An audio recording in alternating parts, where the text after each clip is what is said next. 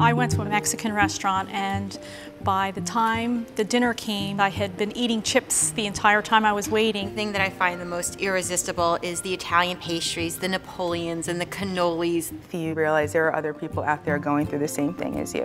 The idea of a clean slate means that you get up the next morning and you start with a brand new slate.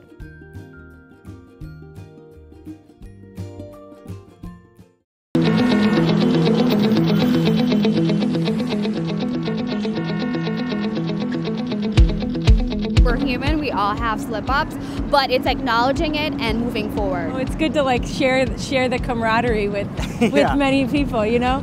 I feel like a lot of times that we tend to like stay in our own shell because we feel like no one's here, no one understands. It makes me feel good that I'm not alone um, and that everyone else has like the courage to do it too.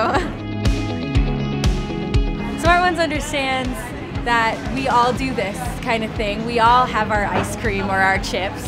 It's just the first step on a long journey. So I wake up every morning, I'm like, oh my God, I can't do it, but force yourself to do it. The fact that we all got to do this together was really nice. This plate makes me feel empowered to make the smart choices, eat healthier, eat better. There's always a chance to start over. and make better choices in the future.